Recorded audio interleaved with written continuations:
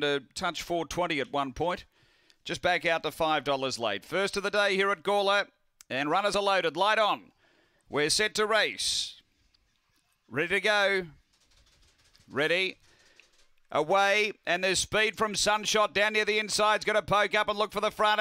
Diving up underneath it, Royal Onyx's Sunshot left the rail and out wider Roger Rose. Uh, they were clear of Rosie's No Angel. Then came Galena Girl and Busy Miner, but up front we got Roger Rose getting away. Out a bit over a length on Royal Onyx and then Sunshot straightening. Roger Rose in front. Royal Onyx finishing it off. Royal Onyx along the inside goes home too well. Roger Rose second. Uh, third Sunshot and fourth uh, possibly Galena Girl there. They were followed behind those by uh, Busy Miner. Rosie's No Angel, never really in it today. The time is uh, 23 and 43.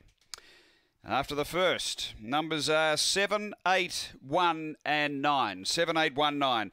Uh, on debut, Royal Onyx uh, for Graham Sterling. Finished best along the inside. Number 7 first.